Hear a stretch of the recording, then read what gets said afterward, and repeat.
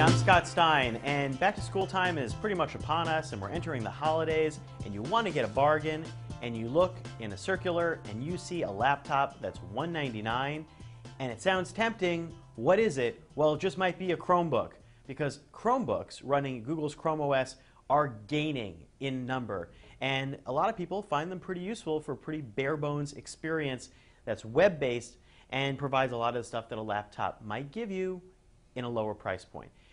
Question is, why aren't these Chromebooks better looking and performing? And I'm going to leverage that onto the Acer C7. The Acer C7 has been around since last year. Now this Chromebook is 199 or 229 depending on the tiny spec bump you get inside, whether you get 2 gigs of RAM, a Celeron processor, and a 16 gig SSD, or whether you go up to 4 gigs of RAM at 229. This model is the 229. Now keep in mind that's pretty much exactly the same price as the new Nexus 7, that little 7-inch Android tablet that's pretty slick. Why would you get this versus that? Well, of course, this has a keyboard. This has a trackpad. It runs full web environment style apps. So maybe if you want to use Google Docs and not feel like you're being truly hampered, this might give a better experience for that. But Chrome, while it's made advances, is still not really great for offline. It's really meant to be used online. And the battery life on this is still not great. This is about maybe four hours of battery.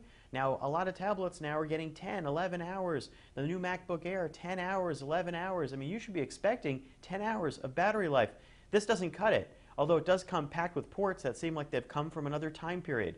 You've got USB 2, you've got full Ethernet, you've got VGA, on the side, that's because this thing is actually pretty much a netbook. This has been an, a retrofitted netbook uh, through and through that has been purposed to run Chrome OS. And I think it's time that we had models and designs that fit Chrome OS, sort of flagship Nexus style devices.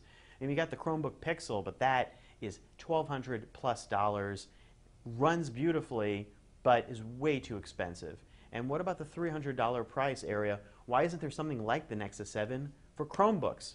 It's not here yet, and pretty much on the Google Play Store, your options might be the Acer C7 at the moment, or the Samsung Chromebook for $250. They're pretty similarly specced out. I might lean towards the Samsung one because the battery life might be a tiny bit better, and the design feels a little more comfortable.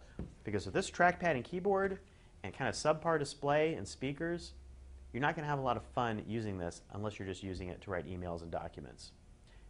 But if you really, really want a bare bones Chromebook, netbook type experience, I'm not going to hold you back. Go for it. Just be forewarned. I'm Scott Stein, and that's a look at the Acer C7 once again with 16 gig SSD. Last year we looked at the one with a 320 gig hard drive. Happy shopping.